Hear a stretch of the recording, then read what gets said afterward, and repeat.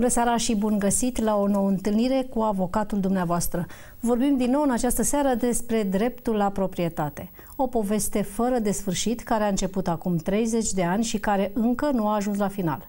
Mai exact, vom încerca să lămurim câteva lucruri despre stadiul celor peste 20.000 de dosare de retrocedare constituite în baza legii 10 pe 2001, care încă nu au fost rezolvate. Pentru această discuție a acceptat invitația mea doamna avocat Monica Livescu. La rubrica Info, Ioana Laura Stoicescu, avocat român stabilit la Bruxelles, ne va da detalii despre recunoașterea documentelor oficiale pe spațiul Uniunii Europene. Vom încheia emisiunea cu un interviu cu domnul Daniel Baciu, președintele Casei Naționale de Pensii Publice. Nu uitați că ne puteți urmări live pe pagina de Facebook a TVR Internațional și că în prima parte a emisiunii vă așteptăm întrebările la numerele de telefon afișate pe ecran. Bună seara, doamna avocat! Bună seara! Bine ați revenit în studioul nostru. Mulțumesc Așa, ca prezență invitație. fizică ne-ați ajutat și online, dar e mult mai bine așa. Da. Revenim la veșnica discuție despre proprietate. Am în față o statistică unde conform căreia la, pe 12 mai în acest an, la Secretariatul Comisiei Naționale pentru Compensarea Imobilor au fost înregistrate 66.571 de dosare, din care 6.991 au fost trimise până la data de 15 mai. Au fost soluționate până în prezent 40.399 de dosare, deci pe, mult peste 20.000 și așteaptă rezolvarea. Ce se întâmplă cu aceste dosare?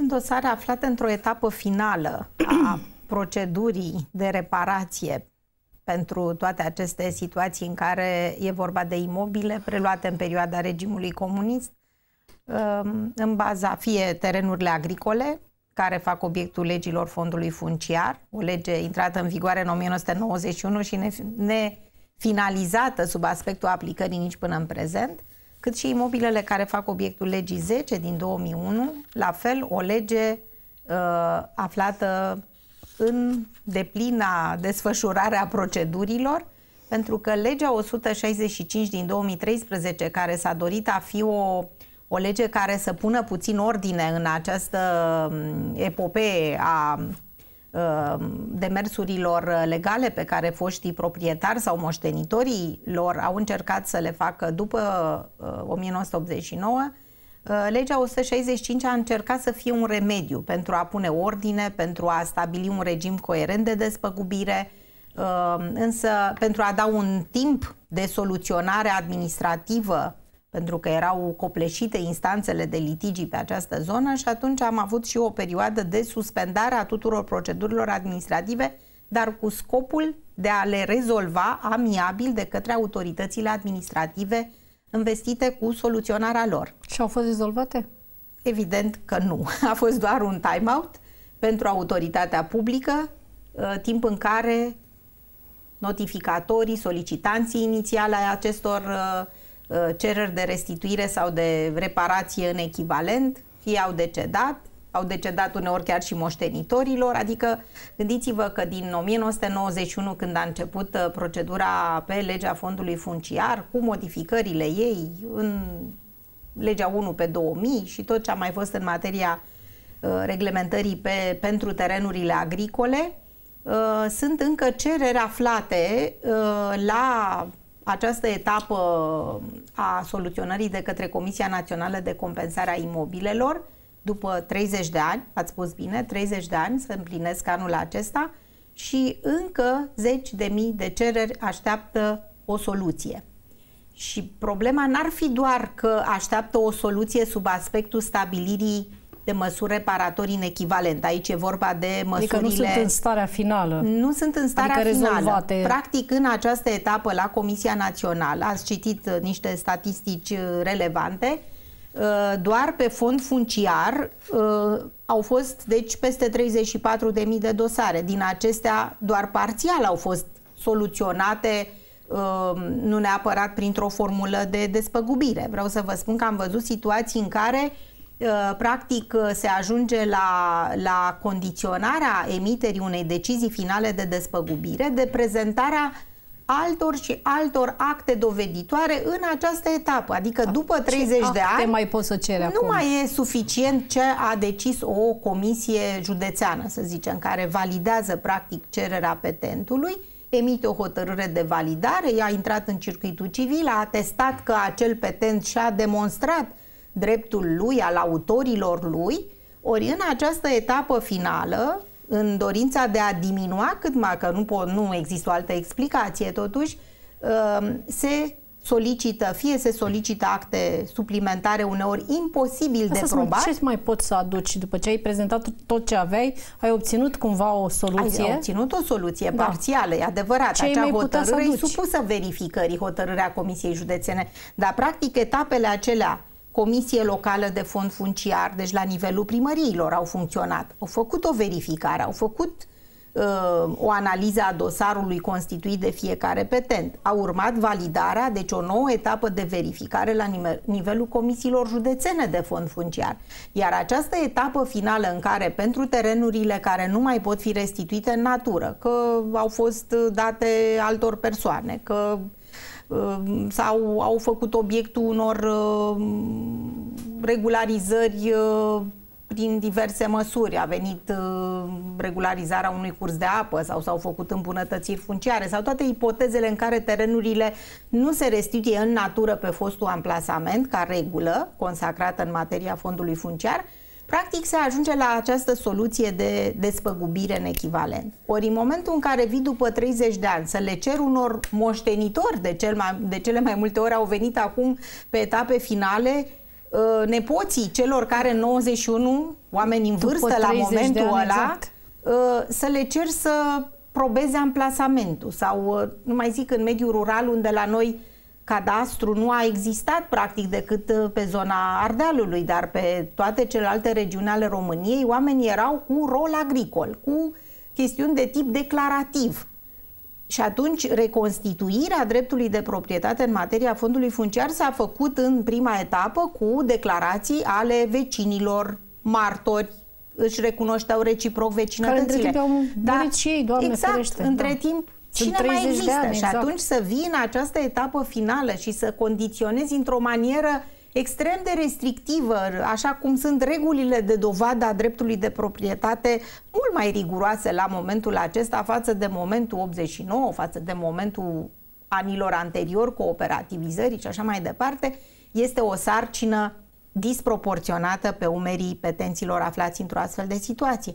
Sau pe zona uh, aplicării legii 10 pe 2001. Acolo au a fost a făcut obiectul de reglementare al acestei legi, au făcut obiectul imobilele și terenurile din intravilan.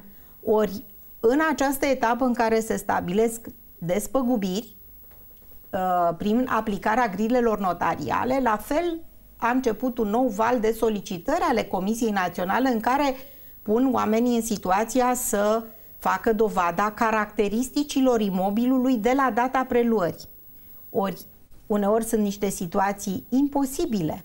Vă dau exemplu, toți cei deportați în Bărăgan, care cine au fost?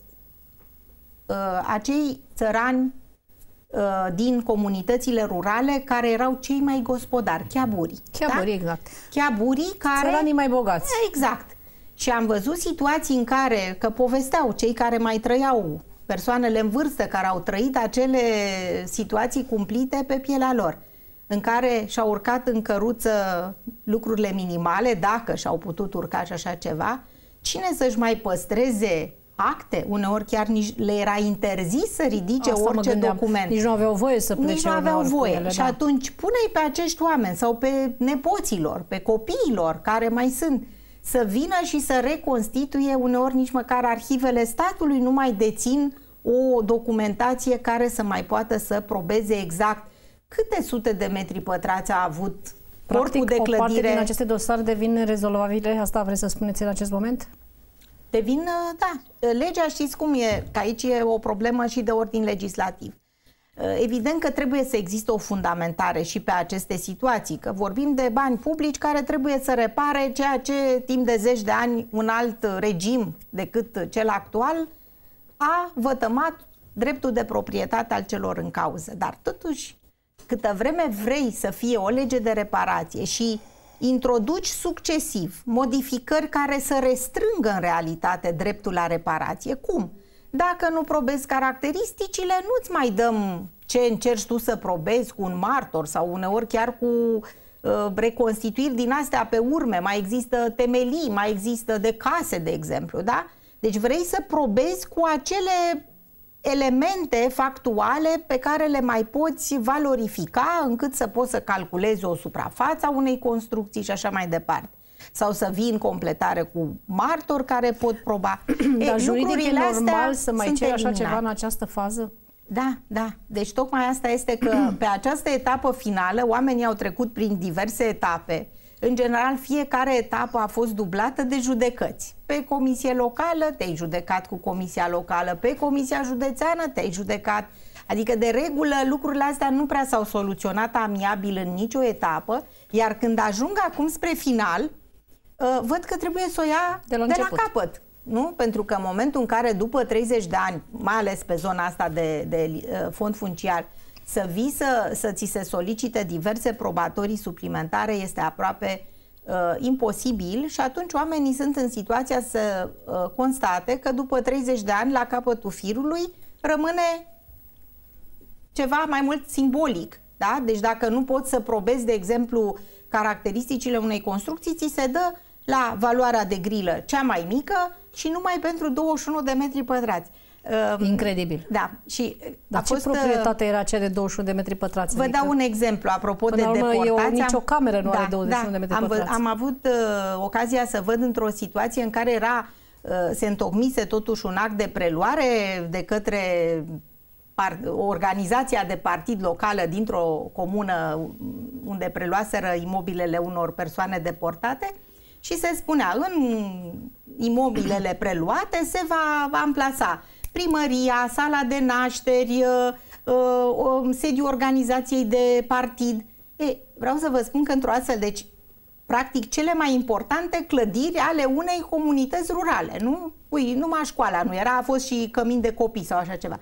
Și în final CNCI-ul a stabilit că trebuie să-i dea 21 de metri pătrați. De ce? Pentru că între timp le-au demolat și mai demonstrează acum imposibilul câte sute de metri pătrați și mai erau martori care să poată spună. Instanțele pe urmă nu înțeleg. Sunt judecători da, foarte da, tineri care nu în înțeleg ce care idei s-a stabilit această suprafață. Că până la urmă ce clădire putea să aibă 21 de metri pătrați, un graj? Păi, de asta vă spun, aplică o prezumție legală. Zice legea, nu poți să demonstrezi la milimetru cât ce suprafață a avut o clădire, de exemplu, și atunci îți aplică acest prag de 21 de metri pătrați și la valoarea cea mai mică din grila notarială. Și aici vorbim totuși de situații în care, deci, dacă legea 10 inițial a pornit cu o legiuitorul legii 10, deci legiuitorul de la nivelul anului 2001 a spus vom acorda valoarea de despăgubire, valoare de piață. Legea din 2013 a spus nu mai dăm valoare de piață, dăm valoare diminuată pe valoarea de grilă 2013. Deci, după 2013 au intervenit și mai ales în ultimii doi ani, să zicem, au fost atât în 2016, în 2018, în 2019, în 2020, o succesiune de modificări legislative numai pe acest articol care reglementează uh, cuantumul de spăgubiri. S-a spus inițial se lua în considerare uh, situația, uh, legea tăcea, nu spunea la ce stadiu? Stadiu de la momentul când s-a preluat bunul imobil sau de la momentul actual? Ori uh, gândiți-vă că sunt uh, multe ipoteze în care e vorba de terenuri intravilane care erau nu neapărat la marginea orașelor, dar care acum sunt în mijlocul orașelor.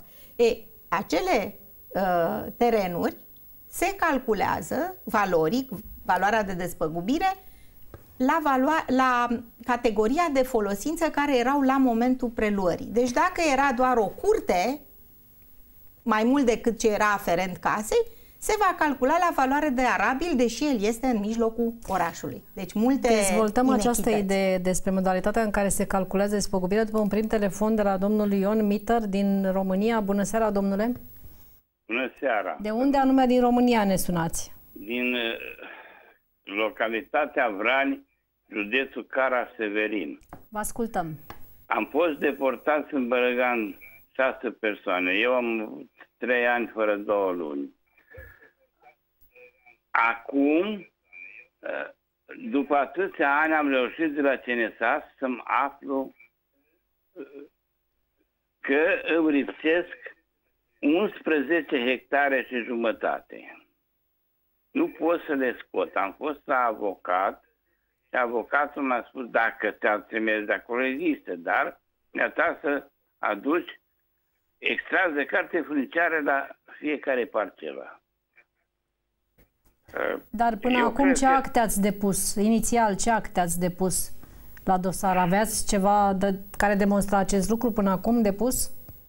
Ei, da, am făcut când a fost legea aia cu despăgubirile. Știți că s-a dat, s-a dat uh, uh, doi, doi din sat au primit numai despăgubirile alea. Are multe, dar asta cu pământul ăsta, acum am descoperit-o. Că mi, care mi s-a furat. 11 hectare și jumătate. Și acum tot caută un topograf, ba, un, am dat și la un avocat și de, din 2019. Eu nu am înțeles nu? foarte bine. Dumneavoastră ați făcut cerere de retrocedare și pentru această suprafață? Am făcut. Ați făcut. Cerere am făcut. Da, aveam hotărârile alea, doamna avocat. Doamna, aveam hotărârile alea la toate persoanele. Aveam ma, tot. Luați, dacă... Da. Și mită, eu, eu sunt în calitate de nepot. Tata a fost proprietar. Dar ce fel de hotărâri spuneți că ați avut? V-ați judecat anterior? sau? Nu, nu, nu, nu, nu. Am, am fost numai și s-a, s-a scos legea aia atunci. Când am ajuns noi, deja nu s-a mai... S-a băgat la sertar unde s-a băgat și nu s-a mai dat despăgubire. O familie a primit întreg și restul au primit urmași de lor care au primit câte 10.000 de euro sau nu știu cum, dar e, e vorba de, de sume mult mai mari care ar trebui să... Pentru că la noi s-a luat tot și podelele s-a ars și tavanele când am venit în 56. O secundă, eu nu am înțeles foarte bine despre ce este domnul avocat, dacă ați înțeles da, dumneavoastră, rezumați înțeleg, cumva să înțelegem da, cu să, toții. Să înțeleg că ați făcut o procedură pe legea fondului funciar, dar da. nu v-ați putut proba integral suprafața de teren care știți că a aparținut uh, părinților sau a zis că sunteți nepot, uh, bunicilor, da? Eu, da, eu... Pentru dovada dreptului de proprietate, într-adevăr, exact ce spuneam și anterior, există o dificultate în a o proba, însă încercați uh, să căutați și pe niște surse, să zic așa, mai neconvenționale. În afară da. de procese, acolo sunt situații în care s-au încheiat procese verbale de preluare și acestea, uh, chiar dacă reflectă uneori incomplet determinarea suprafețelor sau imobilelor pe care le-au preluat de la bunicii noastre, că ați spus că sunteți nepot, la arhivele statului puteți să găsiți totuși uh, um, astfel de evidențe. Fie că este Ați încercat acolo? Că la arhive da, totuși... Uh, da, doamnă, Carmen Bifer, doamna directoare de acolo, mi-a trimis tot dosarul, am trimis om de le-a adus din București. Bunicul meu a primit 13 hectare, 13,8 hectare, iar tata, tata 11,5. Nu le-a primit, dar în acte, am actele de la CNSAS acum. Păi, actele de la CNSAS, asta doream să vă spun a doua variantă, dacă ați cerut dosarele personale ale fiecărui, al, al tatălui dumneavoastră, al bunicilor, acolo mai pot fi câteodată găsite în aceste dosare de la CNSAS chiar și astfel de acte care uh, nu și-au găsit locul la arhive sau au fost distruse sau pierdute sau nu s-au întocmit, în schimb, în astfel de dosare, dar trebuie să mergeți și să vă cercetați aceste dosare uh, personale, pentru că uneori conțin într-adevăr chiar și uh, documente uh, care să ateste proprietatea. Dar da, oricum da. trebuie să acționați în termenele legale, că dacă cumva vi s-a soluționat deja o cerere de reconstituire într-o manieră, să zic, parțială, adică nu vi s-a validat întreaga suprafață, atunci e mai dificil, într-adevăr, trebuie să vă consultați cu un avocat local să vadă în ce măsură, Am, dacă păi- obțineți aceste acte din toate sursele acestea potențiale de, de evidențe, să uh, mai uh, încercați o repunere în termen sau o completare a actelor doveditoare dacă cumva cererea da. nu este încă soluționată. Am înțeles. Am înțeles. Deci, da. treaba e pe, pe rol o doamnă avocat să caute Foarte acum bine. fiecare parcelă și după aceea ce urmează să declanșeze acțiunea în judecată. Ajutorul Dar, dat de un a, avocat întotdeauna vă poate îndruma da. mai bine decât o puteți face singur, pentru că uneori da, demersurile sunt foarte complicate. Am apelat, deja am și plătit o E foarte bine atunci, așteptați, așteptați să meargă lucrurile și... Pentru că o, o, comisia aceasta de fond funciar care a fost la, la comună au făcut ce au avut cu primarii care a fost atunci, care sunt pe lumea la altă, că nu i-a mai răbdat nici Dumnezeu că a luat și pământul bisericii tot, l-a luat și al școlii, și al oameni, atâția oameni. Și acum mai sunt vreo trei în viață care au fost atunci în comisie funciară. Acum, cine... Eu mă întreb așa, dacă statul român mi l-a dat a, a doua oară, la a doua lege, tot, de ce de ce ăștia alți de la primărie de aici v-a dat numai, numai pe jumătate? Din păcate, autoritățile publice, mai ales cele locale din mediul da. rural, Ar cine cura. împarte, parte își face, ca să zic așa, nu vreau să da. generalizez, dar experiența acum, dumneavoastră da. confirmă o regulă constatată în cei 30 de ani de aplicare a legii fondului funciar, că nu întotdeauna cei care au fost desemnați să facă astfel de, de verificări ale cererilor au uh, respectat întotdeauna legea așa cum ar fi trebuit. Au Însă fost, doamne, și reacția cetățeanului este pământ, importantă. N-au avut o palmă de pământ în sat și veniți din alte părți, le-a dat atunci la legea 18 câte 10 hectare. Știți? Da. Ori, or mie îmi lipsesc 11 hectare și jumătate. Dar cine, cine să le caute? De, de 2 ani de zile tot să caute, ba topograful, ba... Perseverența dumneavoastră exact. și avocatului pe care înțeleg că l-ați angajat sunt foarte importante și trebuie să acționați în să, consecință. Să dea Dumnezeu cât mai sunt în viață. Să dea Dumnezeu. Că am 72 de să ani. Să fiți sănătos, succes și foarte mult. și Doamne ajută. Sănătate. Sănătate și să dea Dumnezeu să rezolvați. Mulțumim pentru încredere și pentru telefon. Continuăm cu modalitatea în care se calculează despăgubirea. Vă rog. Da. Ehm, e o chestiune pe care uh, chiar e util să o dezbatem puțin pentru că aici au intervenit și câteva recente modificări, să zicem, în sensul că dacă legea 165 pe 2013 a prevăzut că valoarea de despăgubire se face pe baza grilei notariale în vigoare la momentul intrării în vigoare a acelei legi, adică în 2013, Evident că din 2013 până în prezent, cu atât mai mult cu cât era o valoare abstractă, nu o valoare reală, um, o astfel de modalitate de stabilire a despăgubirii nu doar că ne mulțumea cetățeanul, dar în realitate ea nu reprezenta o minimă despăgubire pentru realitatea uh, pe care ar fi trebuit să o reflecte.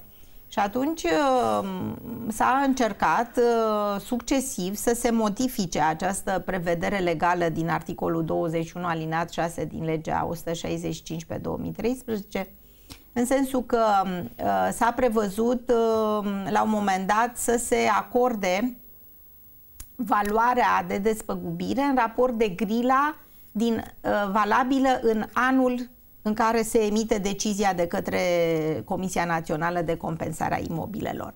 Ceea ce a generat o imprecizie, adică și statul trebuie să aibă o dimensionare clară a bugetului pe care îl aprobă anual în raport de această chestiune. S-a venit și s-a modificat din nou. A fost uh, o prevedere suspendată printr-o ordonanță. Nu o să dau toate elementele de ordin uh, uh tehnic, tehnic uh, legislativ, să zic așa, ca să simplificăm uh, înțelegerea problemelor. Ceea ce este important de știut de către cei care ne urmăresc și sunt interesați de această problemă este împrejurarea că uh, au intervenit două decizii de curte constituțională uh, în cursul anului, una în cursul anului trecut, în octombrie și una în martie anul acesta publicată în mai. De ce sunt importante aceste decizii ale Curții Constituționale? Ele au declarat neconstituțională acea modificare legislativă prin care nu doar pe modalitatea de calcul generală s-a declarat legea neconstituțională, era și o prevedere care viza ipotezele în care uh, cei îndreptățiți au înstrăinat aceste drepturi, da? Cum, așa numiții cumpărători de drepturi, fie litigioase, fie cele care... Și aici, într-adevăr, a fost o problemă de neconstituționalitate în sensul că se crea o discriminare, adică pentru persoanele îndreptățite se menținea despăgubirea Uh, fie la grila 2013, pe când pentru ceilalți se stabilea că trebuie să le dea la valoarea actuală. Foarte ciudată a fost Foarte ciudată. Situație, Motiv da. pentru care Curtea Constituțională în mod judicios a intervenit, adică a spus, domnule, nu putem să facem o discriminare atât de mare între categorii de beneficiari ai legii. Ori avem o lege unitară pentru toți, pentru că, până la urmă, chiar și astfel de drepturi. Ele constituie o valoare patrimonială care poate să facă obiectul chiar și al unei înstrăinări. Adică o, o persoană, de exemplu, o persoană în vârstă, care poate nu mai poate să aștepte pentru ei, este vital să-și primească acele despăgubiri la momentul când încă au nevoie. Au nevoie să se spitalizeze, să-și ia medicamente, să-și asigură un trai mai bun pentru etapa aceea de viață.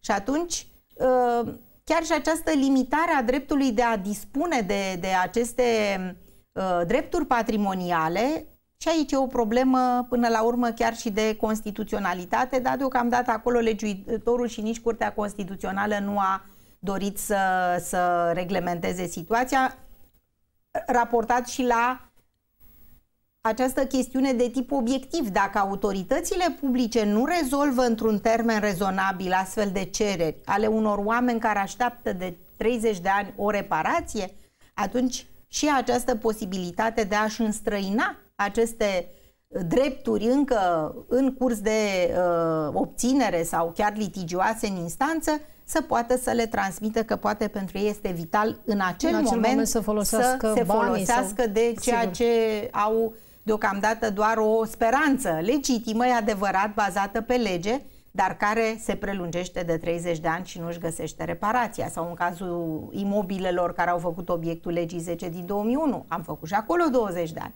Deci sunt totuși niște situații anormale din punct de vedere uh, al, uh, chiar al a ceea ce Curtea Europeană numește principiul bunei guvernări.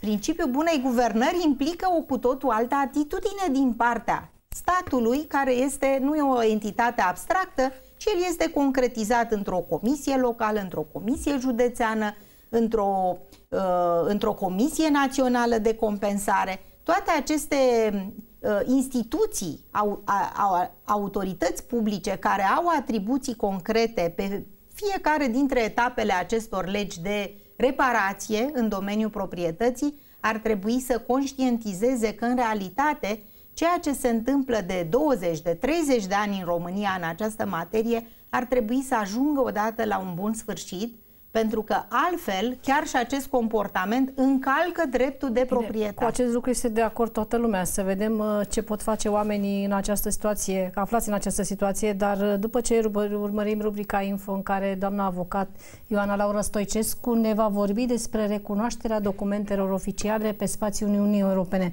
Revenim și vă așteptăm și telefoanele.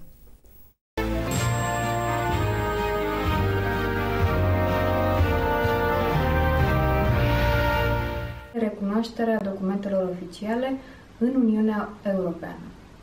Prin documente oficiale, în sensul emisiunii noastre de astăzi, vorbim despre acte de stare civilă, certificate de naștere, de căsătorie, de deces, vorbim de asemenea despre așa numitul certificat de cazier judiciar și vorbim despre acte notariale întocmite pe teritoriul României. Aceste acte pot fi astăzi recunoscute pe teritoriul Uniunii Europene. Prin Uniunea Europeană înțelegem cele 27 de state membre, excluzând aici Regatul Marii Britanii, care beneficiază de anumite măsuri tranzitorii pentru moment. Recunoașterea documentelor oficiale în Uniunea Europeană a fost încadrată ca o prioritate de către guvernele europene. De ce? Deoarece această recunoaștere aproape automată și reciprocă facilitează libera circulație a persoanelor pe teritoriul Uniunii Europene. Pentru acest motiv, în anul 2016, Parlamentul European și Consiliul au adoptat așa numitul Regulament 1191 pe 2016. În mare, regulamentul prevede două categorii de măsuri. Prima categorie este înlăturarea în totalitate a obligativității apostilării documentelor. Vă reamintesc că până în anul 2016 și până la adoptarea acestui regulament, pentru a obține recunoașterea documentelor oficiale era nevoie de apostilarea lor. Apostilarea, după cum am, s-a discutat și înainte, era o și este o procedură reglementată de Convenția de la Haga. Vom reveni mai târziu asupra acestui aspect. Cea de-a doua categorie de măsuri inovată de către regulamentul 1191 este simplificarea formalităților de traducere. După cum știm, în Uniunea Europeană există o multitudine de limbi oficiale și neoficiale. Din acest motiv, regulamentul a prevăzut, în primul rând, faptul că dacă un document oficial care trebuie recunoscut este redactat de la bun început în limba oficială sau neoficială a statului membru unde se cere recunoașterea, nu este nevoie de alte formalități. Nu este nevoie ca acest document să fie tradus în prealabil. Să luăm un exemplu foarte concret. Un cetățean olandez, evident, are un certificat de naștere redactat în olandeză. Cetățeanul nostru dorește să se căsătorească în Belgia, unde limba oficială, una dintre ele, este olandeză. Cetățeanul nostru trebuie să prezinte autorităților belgiene certificatul său de naștere, dar deoarece este redactat în olandeză, nu are nevoie să îndeplinească alte formalități. Desigur, problema este că pentru uh, cetățenii români această facilitate nu este accesibilă dacă documentele lor sunt emise de autoritățile române, deoarece limba română nu este nici limba oficială, nici limba neoficială a altui stat membru în afara României. Însă și în acest caz, regulamentul 1191 aduce o serie de facilități. În ce sens? În sensul în care, um, de exemplu, un cetățean român care trebuie să prezinte același certificat de naștere autorităților italiene îl poate prezenta în original, în limba română, dar însoțit în mod obligatoriu de un așa numit formular multilingv. Pe scurt, în acest caz, regulamentul 1191 pentru o anumită categorie de documente prevede că ele pot fi prezentate în original, în limba în care au fost emise, dar obligatoriu însoțite de un formular care confirmă conținutul lor. Există o excepție de la această regulă și anume dacă autoritățile din statul în care se cere recunoașterea nu obțin suficiente informații nici din originalul documentului, nici din acest formular multilingv, ele pot cere uh, clarificări suplimentare. Din nou, este o situație de excepție. În ceea ce privește regulamentul 1191, trebuie făcute două precizări. El a fost adoptat doar pentru recunoașterea formei documentelor, a autenticității acestora. Prin urmare, un certificat de naștere emis în România va fi recunoscut ca fiind un certificat de naștere în Franța. Atunci când este vorba despre efectele juridice pe care aceste documente oficiale le produc, aceste efecte juridice rămân supuse legislației naționale, legislației statului în care se cere recunoașterea. Din nou, un exemplu foarte concret, căsătoriile între persoane de același sex, de exemplu încheiate în Germania, nu pot fi recunoscute în România, deoarece în România legislația nu permite acest tip de căsătorii. O a doua precizare este în legătură cu documentele oficiale emise de către state terțe, state din afara Uniunii Europene. Regulamentul nu prevede niciun fel de modificări în legătură cu aceste documente, prin urmare, ele vor rămâne supuse obligativității apostilării conform Convenției de la Haga.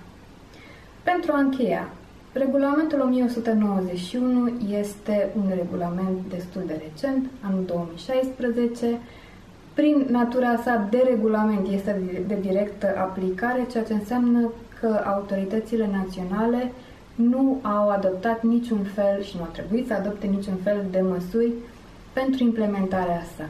De aceea se observă în continuare, mai ales în Europa Centrală și de Est, o anumită reticență a autorităților locale și anumite obstacole întâlnite de cetățenii europeni, în special în ceea ce privește emiterea așa numitului formular multilingv, care din nou trebuie uh, completat de către autoritățile emitente ale documentelor.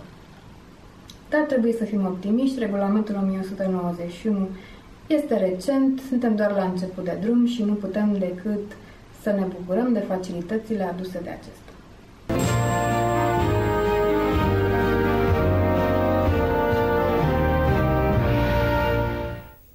Am revenit în studio, vă amintesc că vă așteptăm telefoanele, o să aveți imediat și numerele de telefon afișate pe ecran. Domnul avocat, în acest moment, cum se face evaluarea? Păi, după decizia Curții Constituționale, este o nebuloasă, aș putea spune.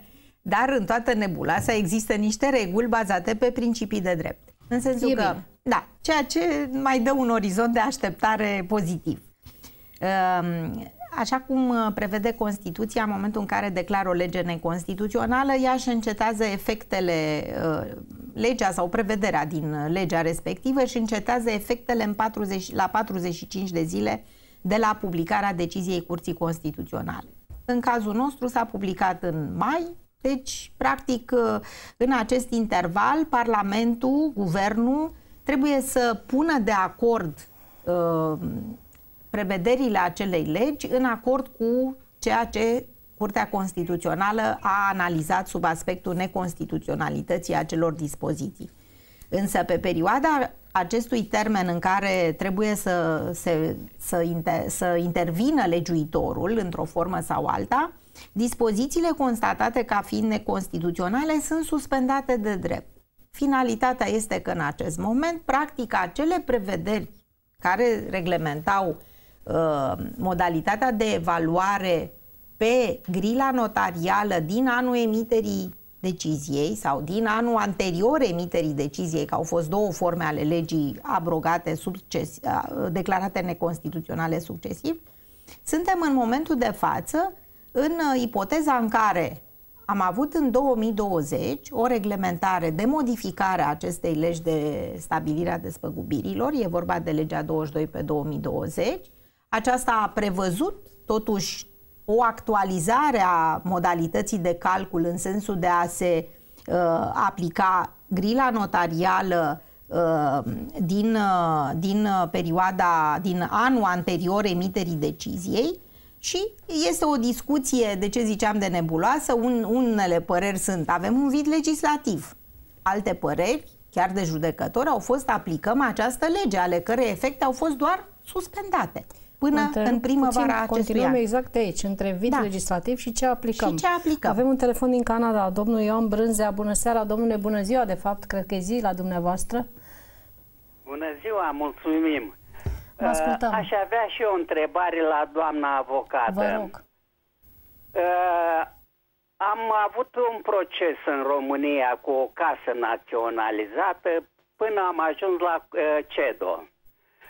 În noiembrie anul trecut, CEDO mi-a aprobat cererea și mi-a spus că mi se recunoaște că casa a fost luată abuziv, România nu putea să mi-o vândă că a fost luată cu decretul 233 din 74, vândută pe legea 12 și așa mai departe. Uh, mi-a dat o despăgubire de o valoare la casă și să mă judec, cu, adică să mi se dea de către statul român. Ce se întâmplă? Casa este așezată pe terenul care mi s-a cedat mie. Mi s-a cedat terenul și o anexă din fundul curții, mă rog, care a fost ca magazie de vară, ca nu știu ce ce pot face acum? Eu am renunțat la bani și am cerut să mi se dea casa în natură, din cauza că nu pot folosi nici terenul, nici casa cea din fundul curții. Uh, primăria spune că nu se poate dacă e vândută. I-am spus, da, ați vândut-o, dar legal. Chiar vă spune curtea că e ilegal. Din uh, noiembrie până acum n-am aflat nimic concret de la primărie. Tot mută dosarul când la uh, Ministerul de Interne, de Externe, nu, mint, nu, nu, nu are ce să caute acolo, nu. Am înțeles despre ce este vorba, da. dar nu are ce să caute. Doamna avocat, ce se poate uh, face în această Eu aș situație? Vrea, aș vrea să clarific totuși o chestiune, că aici ține și de modalitatea în care ați înțeles să executați această hotărâre. Uh, Curtea Europeană a stabilit o despăgubire, dar dumneavoastră în ce sens ați renunțat la despăgubire? Ați făcut o declarație expresă către Ministerul de Externe? În sensul nu, acesta? Am, că ei de obicei notifică de externe, Am plata. făcut că renunț la bani să mi se dea casa în natură din motivele cu tare. Dar unde ați că, făcut această renunțare? Unde ați făcut această renunțare despre care vorbiți? După ce s-a admis plângerea dumneavoastră la CEDO? Când uh, mi-a trimis uh, Unde ați CEDO... făcut cererea? Unde ați depus-o? Poftiți? Unde ați depus, v-a întrebat, și când ați făcut această cerere, v-a întrebat doamna avocat. A, am depus-o la uh, agentul guvernamental. guvernamental la Ministerul de Externe.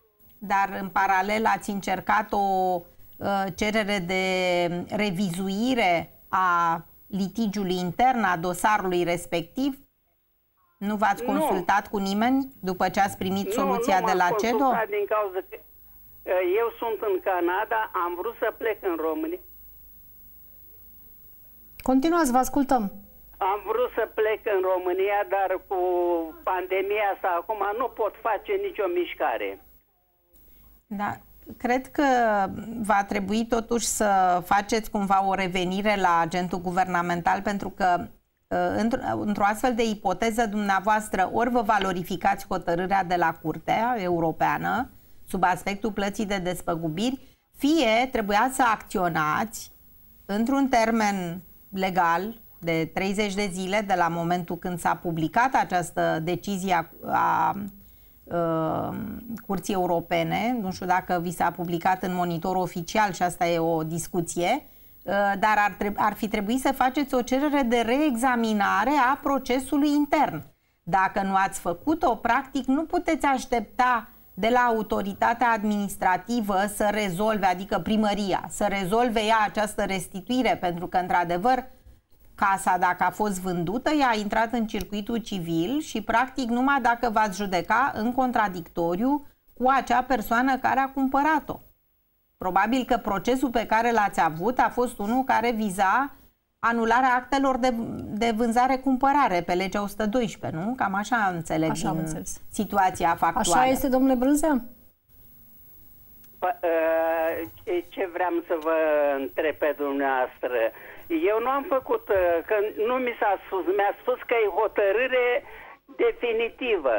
Da, dar atunci când se admite la Curtea Europeană uh, că s-a, se admite o plângere în care se constată încălcarea dreptului de proprietate în raport de acel proces față de care dumneavoastră ați făcut plângerea la CEDO, întotdeauna Așa. acel în cauză are un drept de a formula, de a redeschide acel proces intern, ca să v- v- vorbesc mai pe înțelesul dumneavoastră. Adică trebuia să faceți o procedură internă în România prin care să cereți rejudecarea acelui proces pe baza hotărârii de la CEDO.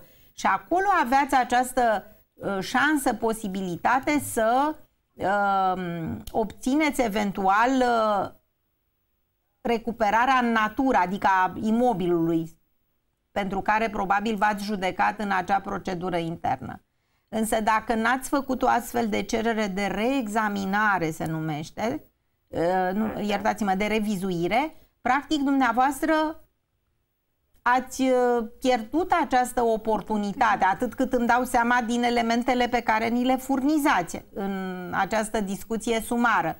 Ideal ar fi să vă consultați totuși cu un avocat care să vă verifice exact când ați primit hotărârea, când s-a publicat, uh, uh, să verifice dacă mai sunteți în acest termen despre care vă vorbesc că ar putea să redeschide procedura internă și numai dacă vă face o astfel de verificare pe baza actelor în mod obligatoriu, nu doar așa pe o povestire care poate să uh, piardă din vedere unele aspecte importante ale cazului dumneavoastră, numai atunci puteți să uh, aveți o evaluare completă în care să puteți uh, uh, ști cu certitudine dacă mai puteți redeschide procesul intern cu finalitatea de a obține imobilul sau dacă nu măcar să valorificați această hotărâre a Curții Europene prin care vi se stabilește uh, dreptul la despăgubire. Uh, înțeleg ce spuneți noastră că probabil vi s-a restituit parțial doar terenul nevândut și ceea ce ziceți a fi o magazie, însă dacă nu ați mers în paralel cu aceste proceduri, uh, lucrurile nu, nu pot fi rezolvate. Termen, da. da, deci trebuie neapărat să vă consultați, fie cu cine v-a făcut plângerea sau un alt avocat. Faptul că nu puteți veni în România, știu că mulți oameni sunt uh, legați de mâini și de picioare în această perioadă dificilă pentru toți, dar există rugați din familie, sunt mijloace de comunicare la distanță, puteți să dați o, o procură cuiva care să se ocupe în România, evident uh, ar trebui să fie o persoană cu studii juridice, un avocat care să poată să vă evalueze aceste uh, posibilități pe care le aveți după ce ați obținut o astfel de recunoaștere din partea Curții Europene cu privire la încălcarea dreptului de proprietate. Pentru că asta deschide o ușă, dar dacă dumneavoastră o lăsați închisă sau nu mergeți nu mai departe, în termen, da. trebuie să și drepturile se valorifică în niște termene legale. Succes mult și ne grăbim să-i răspundem și doamnei Vasilica Fera. Bună seara, doamnă, de unde ne sunați?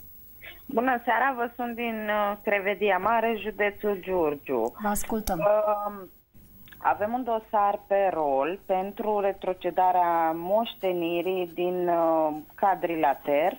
A fost uh, depusă documentația um, în 2005. Uh, Am primit un răspuns. Uh, trebuia să primim suma aferentă pentru teren și casă și tot ce a fost uh, în Caliacra, în Bulgaria. Și după aceea uh, a venit o care a vrut să obțină și ea moștenire de la uh, străbunicul. Uh, ideea e că dosarul a fost blocat. Noi am primit anul trecut uh, o informare de la um, uh, cum se numește, de la prefectura municipiului București, că trebuie să mai depunem documente um, doveditoare ale acestui dosar, să completăm din nou dosarul. Am primit uh, această petiție, trebuia să, în termen de 30 de, uh, de 3 luni de zile, să depunem toată documentația. Am mers la arhivele naționale de la Tulcea, de la București, din toate arhivele am uh, uh scos uh, cartea funciară, cadastru cu teren, cu mm, tot, tot ce am găsit, le-am depus.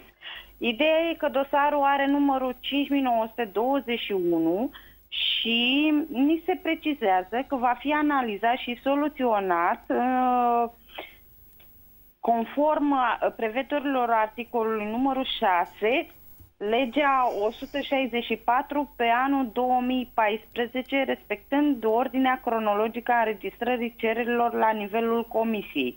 Noi am depus în uh, perioada de pandemie acest dosar sigilat, uh, nu ni s-a dat uh, nimic la mână, l-am depus prin poștă, doar cu dovada că am plătit la poștă, că a fost cântărit și am mers chiar la arhivele naționale acolo, la prefectura capitalei. De atunci nu mai știm cu cine să luăm legătura. Au ajuns documentele că noi am depus actele oficiale am depus tot tot. Nu am decât o serocopie oh. pe telefon uh, făcută. Nu am scanat, nu am nimic din Da, am înțeles uh, care este stadiul procedurii noastre și practic nu vi s-a soluționat nici până în ziua de astăzi dosarul. Nu? Asta ar fi problema dumneavoastră, înțeleg. Să încercăm un răspuns. Da.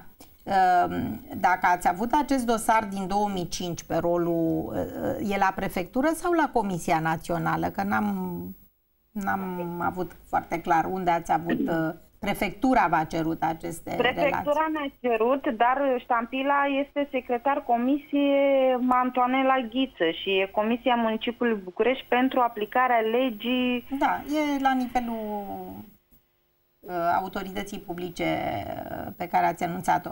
Deci dumneavoastră, dacă v-ați completat acest dosar administrativ cu actele solicitate, și asta înțeleg că s-a întâmplat anul trecut, aveți da. la îndemână posibilitatea să cereți constrângerea comisiei să soluționeze această, uh, acest dosar administrativ completat cu tot ceea ce ziceți că ați uh, putut să completați, uh, practic nemai existând un impediment pentru soluționarea lui, puteți să-i acționați în judecată ca regulă, a devenit o regulă. Îmi pare rău că trebuie să dau o astfel de recomandare, dar din păcate autoritățile publice investite cu soluționarea unor astfel de cereri chiar așteaptă nu se știe ce, dar cu cât trece timpul, cu atât, nu știu, probabil mizează pe faptul că oamenii nu mai sunt, nu mai au putere să acționeze. Și atunci unica formulă de, unica pârghie de constrângere a unor astfel de situații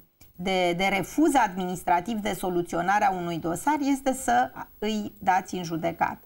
Și atunci instanța se substituie autorității administrative care nu vă dă această soluție și poate să emite ea însă și instanța să constate că sunteți, că v-ați dovedit dreptul, că sunteți persoană îndreptățită și practic să facă ceea ce autoritatea publică refuză. Asta e cea mai bună soluție de acțiune. Succes și dumneavoastră și nu uitați să angajați un avocat. Noi în această emisiune oferim doar câteva idei de principiu, nici cum soluții. Uh, avem timp de o concluzie. Ce facem între acest vid legislativ și aplicarea legii? Ce e de făcut în acest moment? Mm, avem totuși uh, o așteptare legitimă că în curând uh, fie legislativul, fie guvernul printr-o ordonanță de urgență va încerca să pună în acord cu decizia Curții Constituționale uh, această prevedere care stabilește uh, modalitatea de despăgubire. Uh, există un proiect de lege care este deocamdată în dezbatere publică, un proiect de modificare a legii 165 care stabilește că evaluarea se va face prin aplicarea grilei notariale valabile pentru anul precedent emiterii deciziei de către Comisia Națională. Deci, uh, cumva o speranță că va fi puțin mai bine, pentru că chiar dacă valoarea e pe grilă notarială, evident că valorile 2013 nu sunt aceleași cu cele care ar fi, să zicem, 2020 sau 2021, în funcție de anul când se soluționează Dosar. Uh, dosarul. Uh, sau când soluționează instanța, pentru că și astea sunt niște ipoteze destul de frecvente în care ajungem să cerem instanțelor să facă tot ceea ce comisiile refuză să facă, adică au expirat toate termenele legale, dar ei continuă să spună că n-au personal, că nu avem lege, că... că. Deci orice altă motivație, dar uh, în felul ăsta să tergiverseze soluționarea, pentru că evident această chestiune creează și o presiune, adică chiar dacă nu e o problemă spusă explicit, este evident că uh, probabil autoritățile publice, mai ales pe un context cum e cel actual și cum a fost dintotdeauna, niciodată nu sunt bani destui, dar trebuie Absolut. să se ajungă odată să se tragă linie, să existe un efort bugetar pentru a rezolva această chestiune și din această perspectivă Poate că ar trebui să readucem în atenția și al legislativului și a ă, organelor administrației publice locale care au sarcină, conform legii 10, să întocmească liste cu imobile ce pot Așa fi date o să în compensare. facem, o să readucem aminte, o să amintim de câte ori putem aici da. în uh, această emisiune sub acest generic. Vom fi în continuare avocatul dumneavoastră. Mulțumesc foarte mult pentru prezența în această seară. Și eu vă mulțumesc. Vă mulțumesc și dumneavoastră și nu uitați că săptămâna viitoare ne revedem fix la aceeași oră, iar între timp vă aștept mesajele pe adresa de e-mail a emisiunii. La revedere și o seară excelentă!